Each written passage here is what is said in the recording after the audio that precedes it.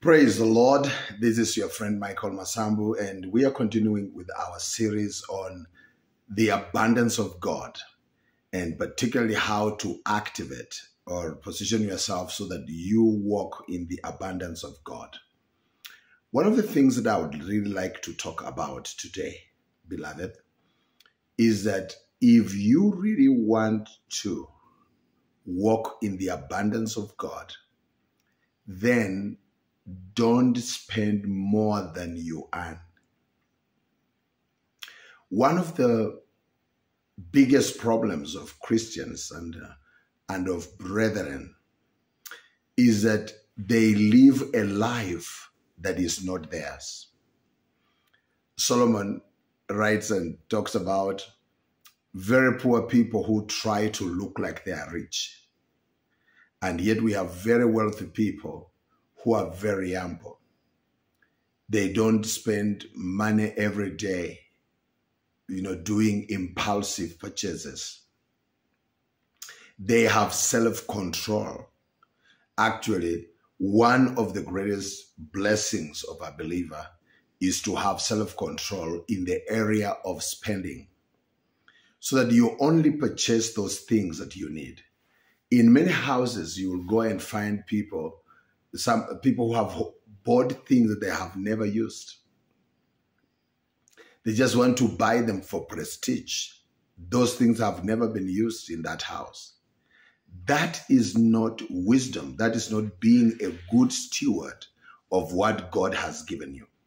Stewardship, being a good steward of what God has given you, is actually one of the reasons why God releases blessings in you. Because as he said in the parable of, uh, uh, or the, in the story of Jesus about a man who was going out on a very long journey and he carried, he called his three servants and gave them talents according to their abilities.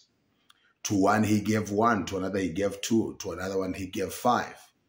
And the one who was given one uh, decided to bury what he has had been given so that it doesn't produce anything.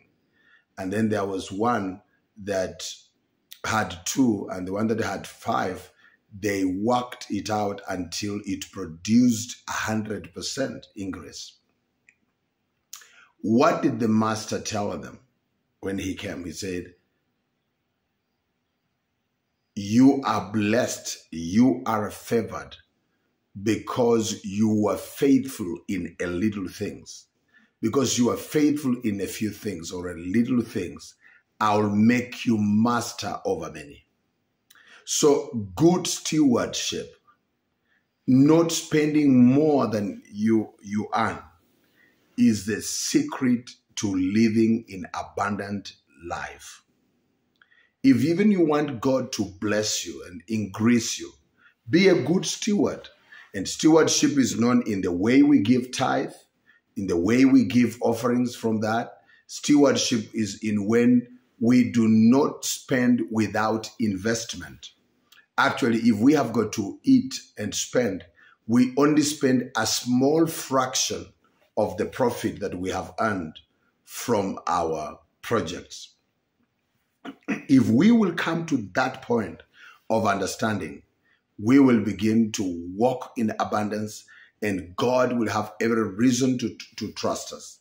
And you see, like, because God is the source of your providence, you don't end up worshiping material blessings that He has given you.